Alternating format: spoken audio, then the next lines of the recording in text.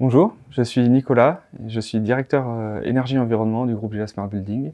J'ai rejoint ce, magnifique groupe donc euh, en 2016. Alors je suis manager d'une équipe d'ingénieurs, euh, une équipe d'ingénieurs qui sont experts dans le domaine de l'environnement, de l'énergie. On travaille beaucoup sur des voilà sur les certifications environnementales, la performance énergétique, la décarbonation de l'acte de construire. Et j'ai un métier d'interaction avec beaucoup d'échanges au sein du service et avec les autres managers et les autres services, des travaux jusqu'aux commerciaux. Un métier voilà très passionnant. Alors je suis arrivé en 2016 et depuis j'ai pas mal évolué.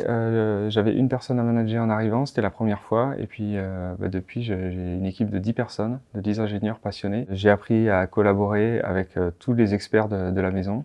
Et il y en a beaucoup. Nos domaines sont extrêmement motivants. J'ai beaucoup d'autonomie dans, mon job. Et, euh, on est dans un contexte voilà, climatique où on, est très content de participer à cet effort.